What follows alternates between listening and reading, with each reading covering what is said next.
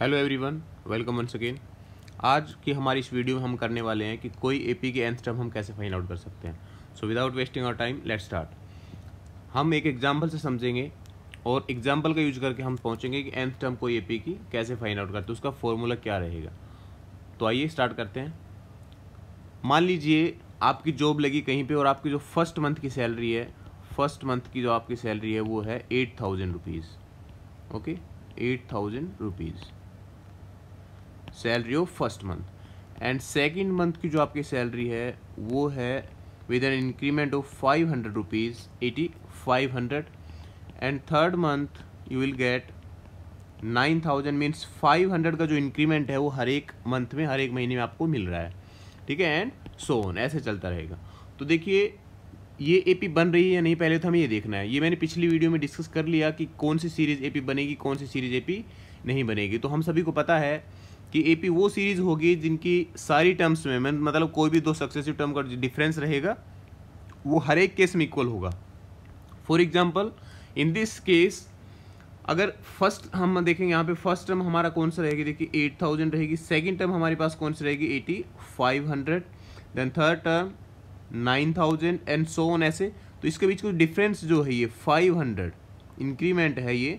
ये सभी में सेम है। इसका मतलब कि this series is forming an AP अब देखिए, अगर आपको फोर्थ या फिफ्थ मंथ तक पूछा जाए तो आप इजीली फाइंड आउट कर लेंगे इसमें five hundred five hundred add करके। बट अगर आपसे पूछा जाए that what will be the salary of Amit what will be the salary of Amit after twenty months तो ट्वेंटी मंथ्स का आप ऐसे थोड़ी ऐड करके लेके चलेंगे। वो बहुत लेंदी हो जाएगा तो ऐसे आप फाइंड आउट नहीं कर पाएँगे। तो उसके लिए हम एक फॉर्मूला बनाते हैं। फॉर्मूला किससे बनेगा? जो हमारी सीरीज़ है, यही हमें फॉर्मूला देगी, देखिए। फ़र्स्ट टर्म और फ़र्स्ट टर्म हम, हमें क्या बताया कि ए से डिनोट होती है तो फ़र्स्ट टर्म हम यहाँ पे लिख सकते हैं। तो first term equals to a मतलब जो एट थाउज़ेंड वो हो गया हमारी फ़र्स्ट टर्म अब देखिए सेकंड जो टर्म होगी तो सेकंड टर्म को हम रिप्रेजेंट करते हैं ए टू से। अब सेकंड टर्म कैसे आएगी? ए प्लस डी कि जो इंक्रीमेंट है फाइव हंड्रेड वो हमें इसमें ऐड कर दी, कर दिया हमने। तो यहाँ पे eight thousand plus five hundred आया। अब थर्ड मंथ की जो सैलरी होगी मीन्स थर्ड टर्म जो नाइन थाउज़ेंड आई, ये कैसे आएगी देखिए ए ए मीन्स जो बेसिक सैलरी थी, उसकी starting salary eight thousand plus अब उसमें कितना प्लस हो रहा है? Two d two d means एक इंक्रीमेंट ये और एक सेकेंड मंथ का जो इंक्रीमेंट होगा, ये तो देखिए फ़र्स्ट मंथ में इंक्रीमेंट हुआ, जो सेकेंड मंथ की सैलरी मिलेगी उसमें. फिर जो सेकेंड टाइम जो इंक्रीमेंट होगा, वो भी सेकेंड फाइव हंड्रेड तो इसमें आएगा टू डी एड करने के बाद हमारे पास eight thousand plus one thousand equals to nine thousand है आपका. थर्ड मंथ की सैलरी हम यहाँ पे लिख सकते हैं थर्ड मंथ ये आया सेकेंड मंथ और ये आएगी फ़र्स्ट मंथ तो यहाँ से अगर आप देखेंगे तो एक पैटर्न बन रहा है, देखिए। पैटर्न क्या बन रहा है? अगर सेकंड टर्म हमने फाइंड आउट करनी है तो ए प्लस वन डी हमने ऐड किया। और यहाँ पे अगर थर्ड टर्म हमने ऐड फाइंड आउट करनी है तो हमने ऐड किया टू डी अगर फोर्थ टर्म हमें फाइंड आउट करनी होती तो हमें कितना ऐड करना पड़ता? ए प्लस थ्री डी मतलब ये जो इंक्रीमेंट है, ये आपकी बार तीन बार लगेगा। एक बार और इंक्रीज हो जाएगा, ठीक है? तो थ्री डी लगने के बाद कितना हो जाएगा? Eight thousand plus three into d d is five hundred ठीक है? फाइव हंड्रेड हम यूज़ करें यहाँ पे कॉमन डिफरेंस इंक्रीमेंट जो है तो यहाँ पे आएगा eight thousand plus fifteen hundred ये आ जाएगा नाइन्टी फाइव हंड्रेड या नाइन थाउज़ेंड फाइव हंड्रेड अगर हम ऐसे फाइंड आउट करते प्लस फाइव हंड्रेड करके तो भी हमारे पास कितना आता? ये आ गया, देखिए। तो फोर्थ टर्म हम ऐसे फाइंड आउट कर सकते हो तो यहाँ से हमारा फॉर्मूला बनेगा अब यहाँ पे मान लीजिए हमें एंथ टर्म फाइंड आउट करनी है एंथ टर्म तो अब की बार क्या लिखेंगे? ए प्लस यहाँ पे हम, अब देखिए यहाँ फोर था तो हमने थ्री लिख दिया। कैसे लिखा था वो? मीन्स फोर माइनस वन करके हमने यहाँ लिखा था। ठीक है? ये जो ए फोर था, हमने कैसे लिखा था? A plus four minus one into d ये जो थर्ड टर्म है थर्ड टर्म हमने कैसे लिखी थी? थर्ड टर्म हमने लिखी थी a three equals to a plus in bracket three minus one into d ये जो यहाँ थ्री है, इसमें से वन माइनस करके हम यहाँ लिखते हैं। तो जब nth टर्म हम फाइंड आउट करेंगे then we can write it as a plus n minus one into d ठीक है? तो हम इसको कैसे लिखेंगे? A plus n minus one into d ये जो हमारा रहेगा this is the formula of finding out the nth term of an AP ये आप लोगों को ध्यान रखना है। समझेंगे कैसे कि nth टर्म कोई भी एपी का, यहाँ से हम कोई भी एपी का nth टर्म फाइंड आउट कर सकते हैं where a is its first term first term of the AP d is the common difference आप सभी को पता है ऑलरेडी कि ए और डी क्या होता है। और जो एन है, ये एंथ टर्म यहाँ पे होगी एंथ टर्म और ये होगी total number of n means number of terms जो हमें फाइंड आउट करना है वो एंथ टर्म होगा ये एन अब इस फॉर्मूले का यूज़ करते हैं हम कोई क्वेश्चन लेके। यूज़ कैसे करेंगे, देखिए। क्वेश्चन नंबर वन मान के चलिए यहाँ पे कहा हुआ है कि find the tenth term of an AP that is two seven twelve and so on तो ये हमारे पास क्वेश्चन है। इसमें ऑलरेडी मेंशन है कि ये एपी है एक। अब एपी है तो इसकी हम टेंथ टर्म कैसे फाइंड आउट कर सकते हैं, ठीक है? तो टेंथ टर्म फाइंड आउट करने के लिए हमें फॉर्मूला पता होना चाहिए। हमें फाइंड आउट करना है टेंथ टर्म टेंथ टर्म को हम ए टेन लिख सकते हैं, ठीक है? ए टेन हमने लिख लिया तो ए टेन फाइंड आउट करने के लिए हमें क्या चाहिए? देखिए, मैंने क्या बताया था कि एंथ टर्म फाइंड आउट करने का फॉर्मूला होता है हमारा होता है a plus n minus one into d so tenth term find out करने का क्या होगा? रिप्लेस एन बाई टेन तो यहाँ पे भी हम ten minus one into d लिख देंगे। तो this will be equals to a plus nine d तो ए टेन आपके किसके इक्वल हो जाएगा? ए प्लस नाइन डी तो यहाँ पे ए चाहिए हमें और डी चाहिए, ठीक है? तो ए टेन के लिए क्या क्या चाहिए? ए और ए हमारे पास गिवन है already the first term first term of the A P आ जाएगा two then d common difference common difference कैसे फाइंड आउट करते हैं हम?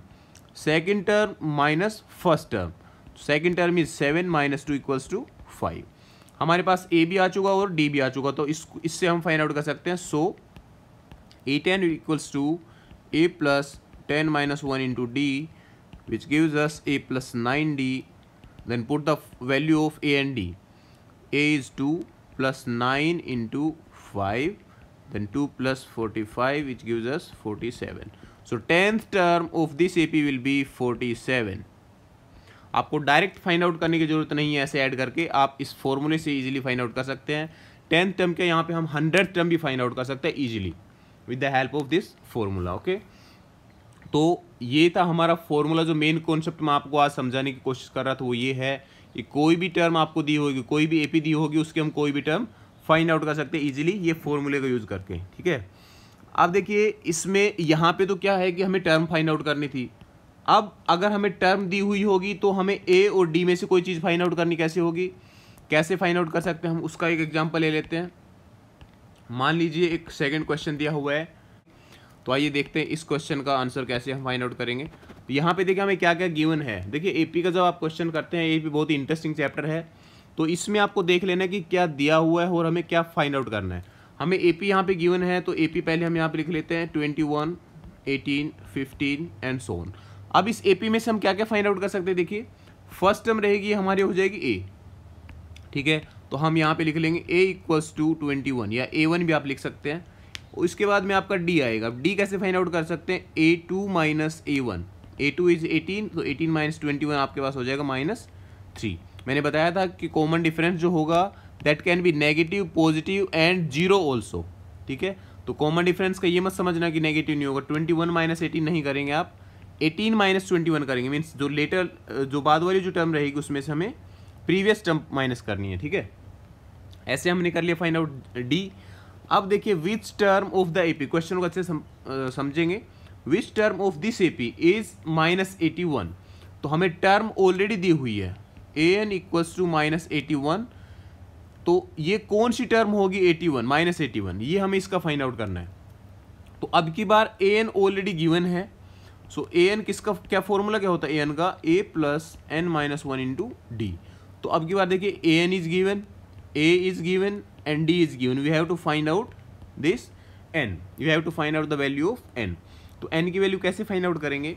जो बाकी वैल्यूज़ हैं, वो सारी वैल्यूज़ इसमें रख देंगे। A n is minus eighty one a is twenty one then plus n minus one into minus three d की वैल्यू हमने रख दी यहाँ पे माइनस थ्री इसको आप सोल्व कर लेंगे।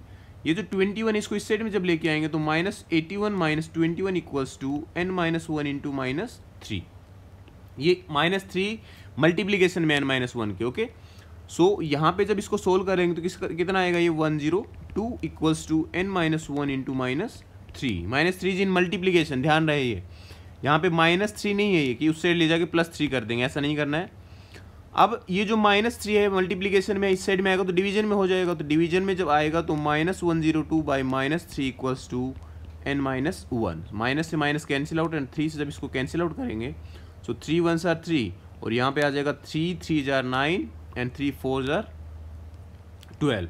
सो ये आएगा आपके पास n minus one equals to thirty four then n equals to thirty four plus one which gives us n equals to thirty five okay तो ऐसे आप एन की वैल्यू फाइंड आउट कर लेंगे तो हम क्या कहेंगे कि जो एटी वन जो माइनस एटी वन है it is the thirty fifth term okay so minus eighty one is the thirty fifth term of this given AP ठीक है? ये हुआ हमारा जो फ़र्स्ट पार्ट है इसका वो। अब देखिए क्या कहा हुआ है नेक्स्ट में, कि क्या कोई टर्म इसकी ज़ीरो है इस एपी की? इस टर्म इस एपी की टर्म ज़ीरो हो सकती है? वो कैसे फाइंड आउट करेंगे? वो भी हम ऐसे ही फाइंड आउट करेंगे कि ए एन क्या इसका ज़ीरो हो सकता है कभी? When a equals to a क्या है? ट्वेंटी वन और डी क्या है? माइनस थ्री ठीक है? ए ट्वेंटी वन और डी माइनस थ्री है।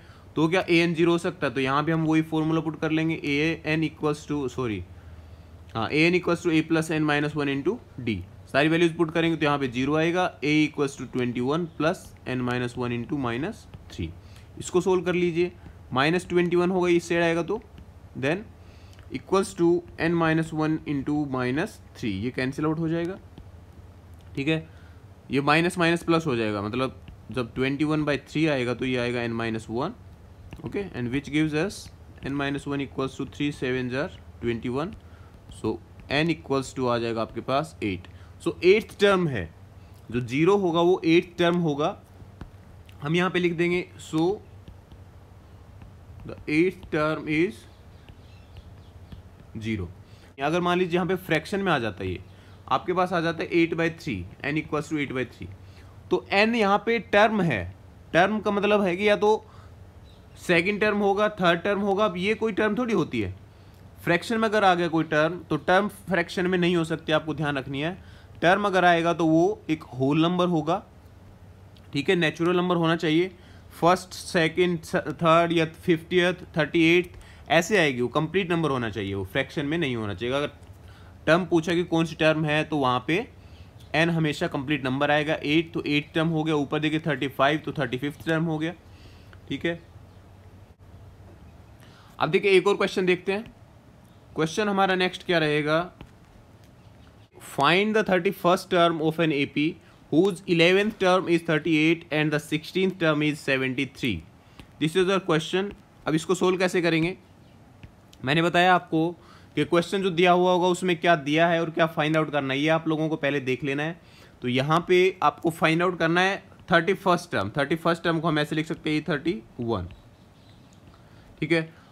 Whose 11th term is 38 11th term is given, means a11 equals to 38 and 16th term is 16th means a16 equals to 73 ये हमें दिया हुआ है ए इलेवेंथ टर्म और सिक्सटीन टर्म और हमें फाइंड आउट करना है थर्टी फ़र्स्ट टर्म अब thirty first term find out करने के लिए हमें क्या क्या चाहिए वो आप देख लीजिए।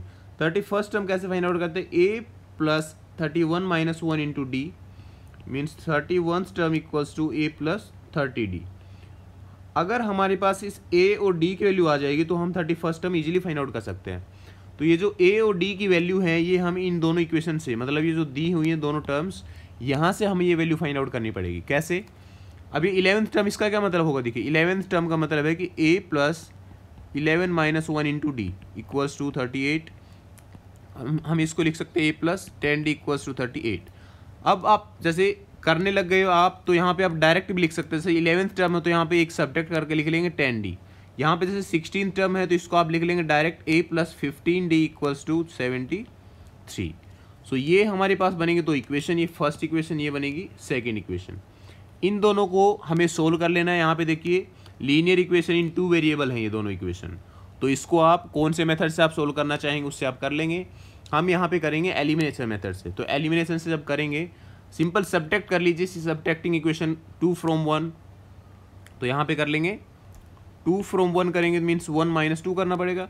So a plus ten d equals to thirty eight and a plus fifteen d equals to seventy three sign will change तो ए से ए कैंसिल आउट हो जाएगा और यहाँ पे आपका बचेगा माइनस फाइव डी ये जब आप सब्टेक्शन करेंगे तो माइ प्लस प्लस थर्टी एट और माइनस सेवेंटी थ्री है। अब कितना बचेगा आपके पास? थर्टी फाइव बट ये रहेगा माइनस का। ठीक है, आपको ध्यान रखना है। आप ऐसे सब्ट्रैक्शन कर सकते हैं इसका। सेवेंटी थ्री में से थर्टी एट माइनस करेंगे तो कितना आएगा? देखिए फाइव और यहाँ पे सिक्स माइनस थ्री आएगा थ्री तो साइन रहेगा ग्रेटर नंबर का greater number is seventy three so minus thirty five minus से माइनस कैंसिल आउट हो जाएगा यहाँ पे, दोनों साइड है।